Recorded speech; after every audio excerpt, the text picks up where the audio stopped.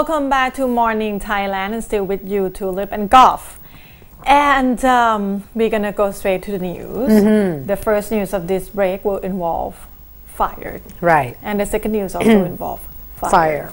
But the, the first one, no one died. Mm-hmm. Anyway, um, t- about the, around the same time that van kids were arrested, Right. they were also uh, fired at Saha Farm um, storage room Mm-hmm. in Lopburi, province. Mm-hmm. The, this company, in this one in particular, just uh, was in the news last week. Right. Because there was a big um, protest, not protest, a mob Mm-hmm. from the uh, foreign employee Right. Almost like a foreign union going on forming there. Mm-hmm. um, Apparently, they owe the wage of about two months to Hmm. all this. Um, Withholding pays, huh? yeah, for about about a month and a half to two months, they haven't paid their employees, and there were a threat that, that they will put this factory on fire. So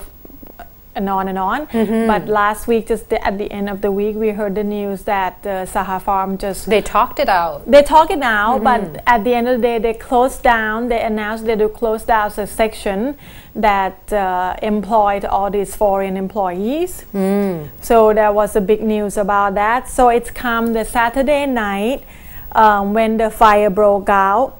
Um, the they need, they used 14 fire truck uh, and they able to uh, have the fire contained within four hours. But the police still cannot identify the cause of the fire. But it happened at the storage room at the started where they storage pieces of chicken for export. Um, initiate estimate the damage probably about 30 million baht. They said that there are two possible causes either arson or the electric circuit short. Hmm. Is there anything else besides arson and electric circuit short? I mean, it cannot be anything else. Right. But the thing is, I, I think they probably, I don't know, speculate other stuff like bombs. I don't know. No. I mean, uh, yeah. Anyway, it's still uh, under investigation, but uh, the uh, the arson, the possible of arson, because Mm-hmm. they got a threat from the former employee before when they were having dispute going on. But they say they're able to talk it out Mm-hmm. and uh, come down with terms. But this thing happened, so we're probably gonna hear more when they're, they're able to find more information about the Right. cause. Now, moving on to another um, fire that broke out. This one in particular is quite sad due to the fact that um, it's involved four um, people that were killed. Now, this particular incident happened in uh, Sainoi of Nonthaburi province. And what happened is um, there has been a fire that broke out at the police station at about 4 a.m. of uh, Saturday. Now, this is uh, of yesterday, excuse me, and of course, this particular um, arson, not arson, excuse me, because this point they haven't, they're not sure. They're thinking that it might be electrical short circuits or um, it might happen from maybe some kind of s- uh, spark that happens and is kind of expanded into the evidence room. However, um, in this particular incident, there were four inmates in the police station at the time.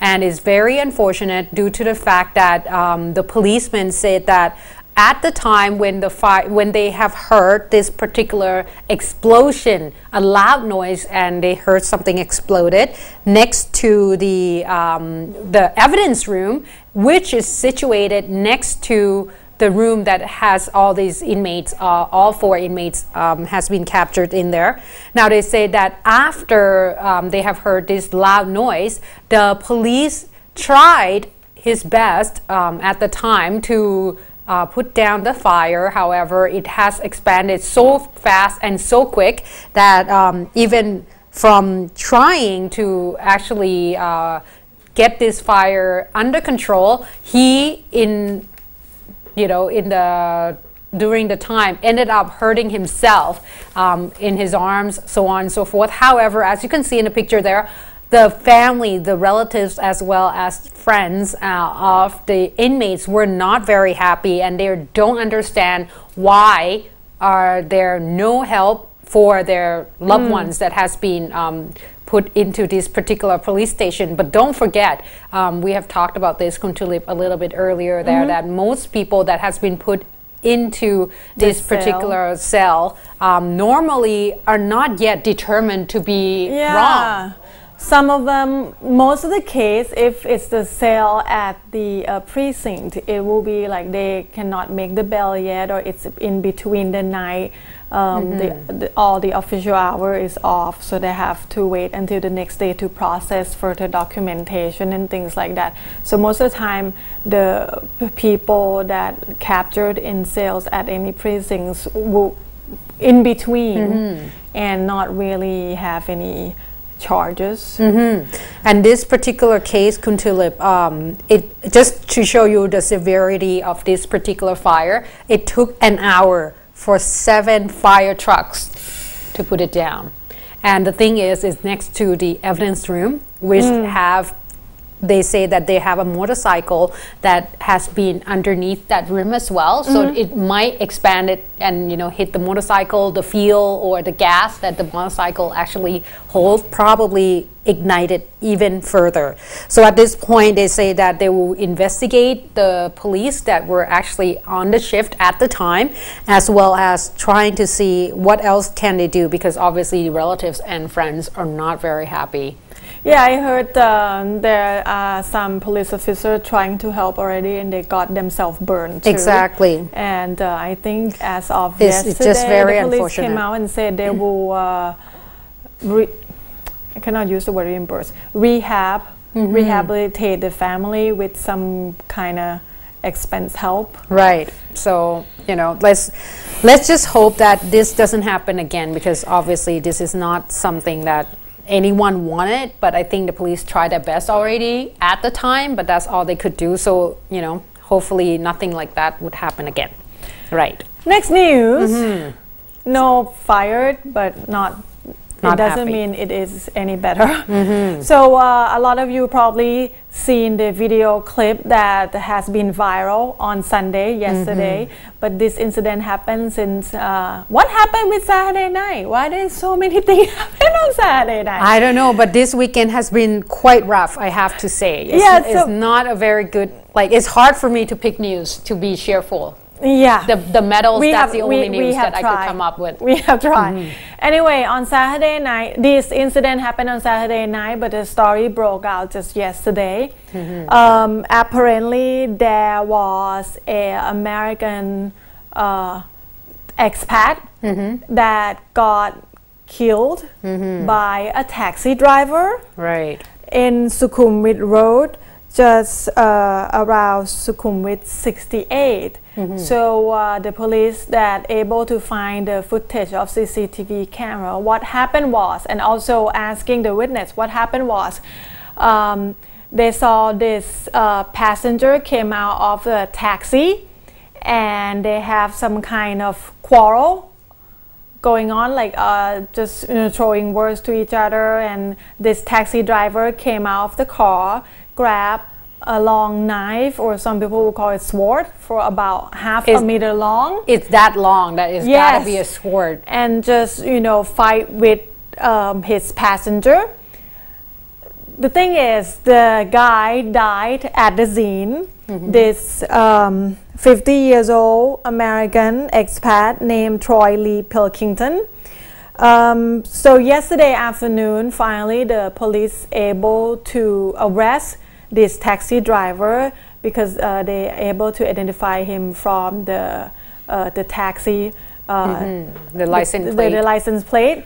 So they caught the taxi driver at his apartment in Bangkok along with evidence which are his taxi, the pink taxi, his blue shirt, and his um, shoes that have blood stain on it.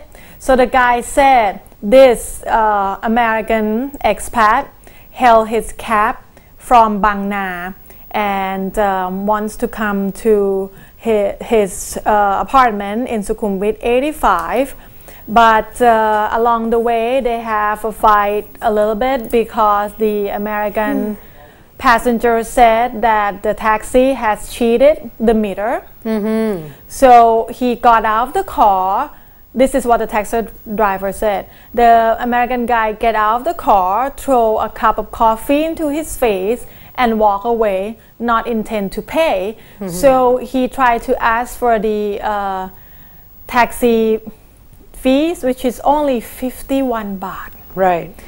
and he got really mad. So he grabbed the, the sword, and he said the guy fight back. So he so he just you know fought back with the sword, and he didn't think he gonna kill him. But I guess when the anger get into your I know. head and you just couldn't stop, it's fifty one baht, people. Yeah, I and mean- the thing is, I don't think you're supposed to have a sword. in the car. In the car. So right now, currently, uh, the guy is charged with, um, of course, killing other people and also having um, Possession of possession of um, Ah. weapons in public space, in, in the public place. So I guess there are so many evidence, and he Right. also confessed to the crime. So. Yeah. So be be very careful. I'm not saying that you know it should be the passengers who try to avoid this, but the thing is, you know, when times comes, you never know what other people have, and the thing is to get into a taxi, and you know you're pretty vulnerable already to have someone else driving you. So. Um, if anything else, um, don't get too upset And I very would- quickly, I- and I I, think the police would probably try to make sure that the, the taxi drivers are a lot less, what should we say, armed? they shouldn't be armed. Yeah. I mean, Yeah, but then, you know, in things the could go sense, the other way in the common sense, shouldn't be armed. Mm-hmm. He's not police officer. He's not military. He's not a guard of a bank. He mm-hmm. shouldn't be armed. Right. But all in all, taxi cab fares from Bang Na to Sukhumvit 68, 51 baht is not a lot. Mm-hmm. I don't think it doesn't sound like a cheating meter. 51 mm-hmm. baht for that amount of distance. But then again, you know, we, we have no idea what's going on. Yeah. Because this is the thing. We just heard from what the driver said. Yes. Not the passenger. Maybe he didn't, he wasn't from Bang Na. Maybe he was, you know, somewhere closer. yeah, and So the it could mean passenger was killed. Exactly. So, um, to another news, I'm not going to be cheerful. Very unfortunate. This particular um, news um, is actually, even though it's not cheerful, I think it's still uh, a good. Uh, congratulate to the police. Um, the thing is, we have heard a lot about drug trafficking within the city as well as our country as a whole and around the border. Apparently, there has been a big drug lord that even the Interpol as well as the Myanmar government are looking for, and he is Lieutenant Colonel. Yi Se. Now, he, if you have heard of his name, um, his drug lord um, name, this particular drug lord name, Yi Se. Now, he has been quite well known in terms of trafficking all the drugs.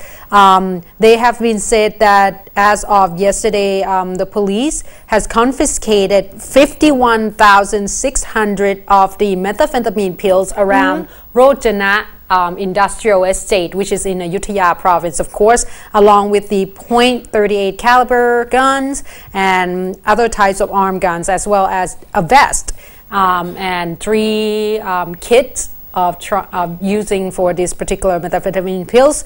Now, um, the police have said that this particular arrest actually expanded from the arrest that they took place on Friday, where they confiscated 500,000 of methamphetamine pills, 10 kilograms of ice as well, and these are all about 300 million baht in total Okay. um, for this particular um, arrest.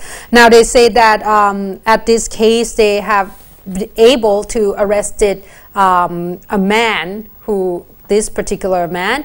Now um, they say that Okun Pakapong, excuse me, um, let me get his name straight here. Um, at this point, Som Pong Kieo In, now he has been one of the main person that trafficking the drugs around. They believe that this particular place at Rojana area is just a transition place where they look, uh, you know, waiting for the drugs to be distributed elsewhere. Now, um, Lieutenant Colonel Yi Se is believed to be um, smuggling drugs from mm. Chiang Mai, Chiang Rai, Mae Hong Son, which is the northern part of Thailand, and keep it at uh, Ayutthaya, Ang Thong, Lopburi, Pathum Thani, and Suphanburi before they distribute it into different places mm-hmm. around Bangkok. Mm-hmm. So at this point, um, the Interpol as well as Myanmar government has already um, put a reward of 5 million baht if anyone could actually give us location or give them a location mm-hmm. of uh, Lieutenant Colonel For Exactly. Mm. And at this point, they believe that he is at Tha Lake of Chiang Rai province. However, of course, the police will actually have to look more into this because this is one of the biggest drug ring ever and is involved international um, help cooperation because Interpol are actually looking for this particular person as well. I, I heard his name floating around for a long mm-hmm. while already. Uh, hopefully, it's coming pretty close. Mm-hmm. Anyway, we're going to take a short break. Yes. Uh, we'll come back with um, the news that has been going on, floating around for probably over a month already. Yeah. The scandalous monk, or some newspaper will call Jet Set Monk. Mm-hmm. And another interesting news that broke out over the weekends the sound clip the mysterious sound clip. So please stay tuned.